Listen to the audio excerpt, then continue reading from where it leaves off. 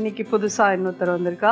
அவள் என்ன புதுசாக பண்ண போறா அப்படிங்கிறதையும் நம்ம அவளை பார்த்து கேட்கலாம் உங்கள் பேர் என்னம்மா? அனிதா. எங்கேருந்து வரேன் திருப்போரூர். திருப்பூரூர்? Yes wow. இன்னைக்கு நம்ம என்ன சமைக்கலாம்? உங்களுக்கு என்ன பண்ணணும்னு இதாக இருக்கு? எனி திங் நீங்கள் எது பண்ணினாலும் ஓகே ஏன்னா. நம்ம எல்லா ரெசிபியும் நான் பண்ணி பார்த்துருக்கேன். மோர் குழம்பு ட்ரை பண்ணலாமா? எஸ் நீங்கள் பண்ணி பார்த்துருக்கீங்களா? பண்ணியிருக்கேன் சரி இன்னைக்கு வெண்டைக்காய் போட்டு மோர் குழம்பு பழைய இதில் பார்த்தீங்கன்னா நான் சௌச்சௌ போட்டு பண்ணியிருப்பேன். இது வெண்டைக்காய் போட்டு மோர் குழம்பு ஸோ வெண்டைக்காயை முதல்ல வதக்கிக்கணும் நம்ம.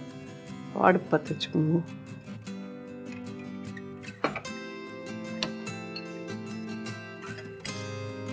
அது காயத்துக்குள்ளே இது நான் என்ன பண்ணி வச்சுருக்கேன்னு சொல்கிறேன் உங்களுக்கோசரம் ஒரு ஸ்பூன் தனியா ஊற வச்சுருக்கேன். ஒரு ஒரு ஸ்பூன் கிட்ட அரிசி ஒரு ஸ்பூன் துவரம்பருப்பு. ஓகே இது மூணும் ஒரு ஹாஃப் அன் ஹவருக்கு மேலே ஊற வச்சு வச்சுருக்கேன் ஸோ இதெல்லாம் சேர்த்து அரைக்கணும் நம்ம. நிறைய பேர் தனியா போட மாட்டா. இது தஞ்சாவூர்காரா ஸ்டைலு தனியா போட்டு பண்ணுறது மோர் குழம்பு டிஃப்ரெண்ட் டிஃப்ரெண்ட்டாக பண்ணுவா. நீங்கள் பார்த்தீங்கன்னா நீங்கள் நார்த்லலாம் இருந்திருக்கீங்க கடி.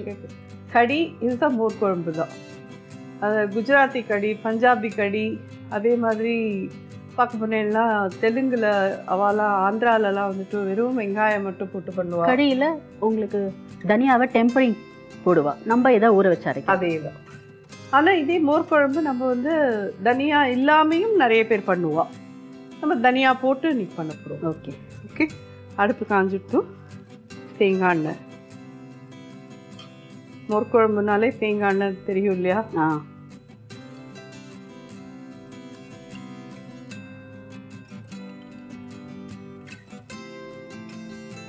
இதுக்கு வந்து முதல்லயே கடுகு தாளிச்சுருவோம்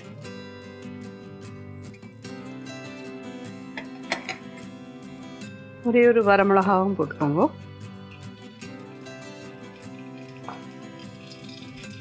இந்த வெண்டைக்காயை போட்டுருவோம்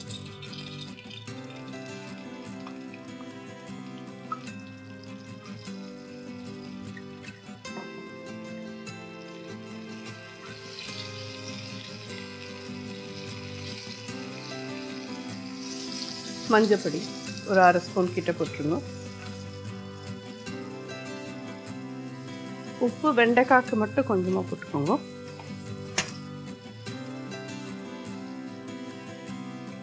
இப்போ சொல்லுங்க நீங்கள் என்னோட வீடியோஸ்லாம் புதியுகம்ல பார்த்துருக்கீங்களா? பார்ப்பேன். ஆல்மோஸ்ட் எல்லாமே பார்த்துட்டு ட்ரை பண்ணிடுறது. ஓகே.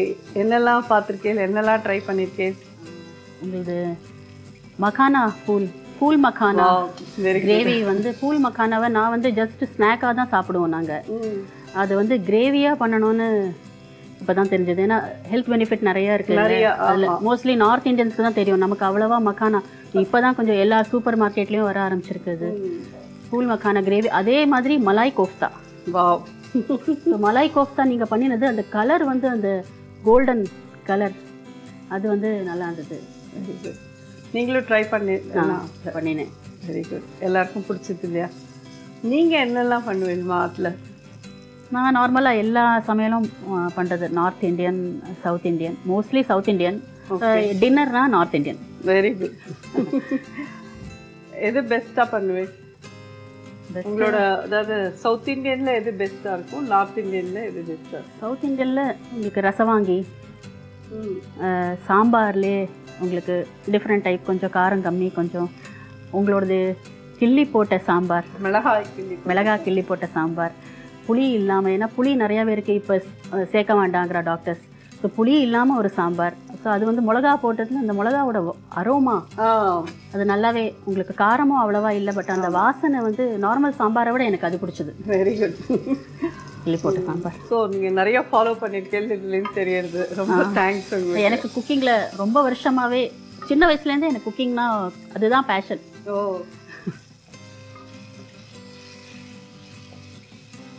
ஸோ அது வதங்கட்டும். இந்த மோரை சிலிப்பி வச்சுருக்கோம். இது தயிராக இருக்கு.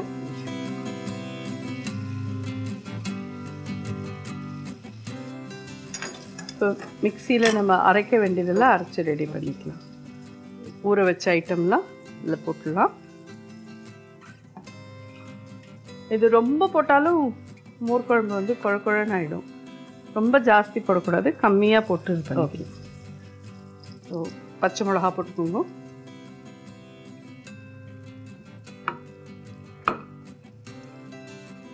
உங்களோட காரம் வந்து அது எவ்வளோ ஒன்றோ ரெண்டோ அதெல்லாம்.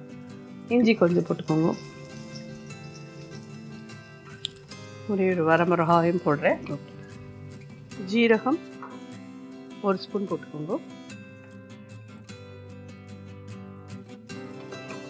தேங்காய் போட்டுருங்க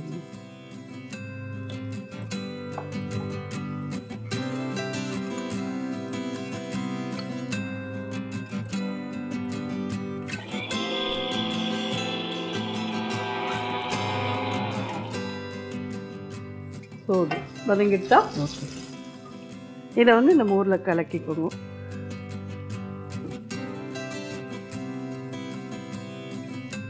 ஸோ இந்த வதக்கின வெண்டைக்காய் இந்த தட்டில் எடுத்து வச்சுருக்கோமா?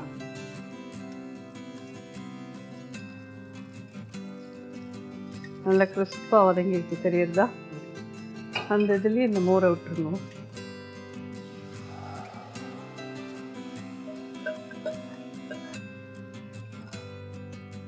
இப்போ நம்ம வெண்டைக்காய்க்கு மட்டும்தான் உப்பு போட்டோம். ஆமாம் ஆஹ் குழம்புக்கு கொஞ்சம் உப்பு போட்டுருவோம். கருவேப்பிலையும் போட்டுருவோம்.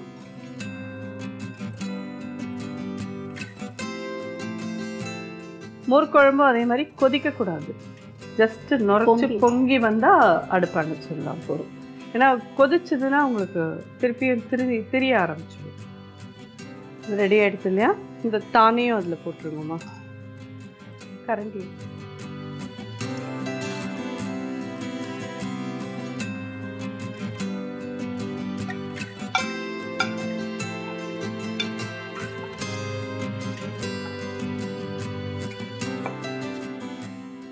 ஆல்மோஸ்ட் இது ரெடி இல்லையா? மோர் குழம்பு ஜோராக ரெடி ஆகிடுச்சு ரெடி ஆயிடுச்சு மேலே கொஞ்சம் கொத்தமல்லி போடுங்க அவ்வளோதான்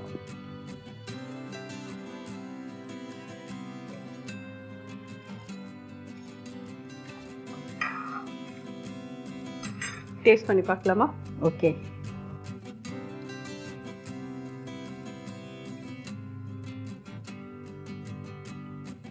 மோர் குழம்புக்கு எப்பயுமே கொஞ்சம் நல்லா புளிச்ச தயிராக இருந்தது நல்லாயிருக்கும். இது கொஞ்சம் புளிக்காதது. அதனால் இருக்கு நல்லா இருக்கு அடுப்பில் வச்சா அப்போ கூட புளிக்காத தயிராக இருந்தால் இதுவாக இருக்காது. நல்லா கொஞ்சம் ரெண்டு நாள் பழைய தயிரில் தான் பண்ணி பார்க்கணும் சாப்பிட்டு பாருங்க. உங்களுக்கே டிஃப்ரென்ஸ் தெரியும்.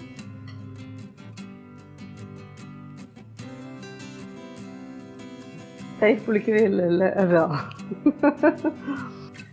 ஆனால் அதர்வைஸ் டேஸ்ட்லாம் ரொம்ப நல்லா இருக்கு. மோர் குழம்போட டேஸ்ட்டில் இருக்குது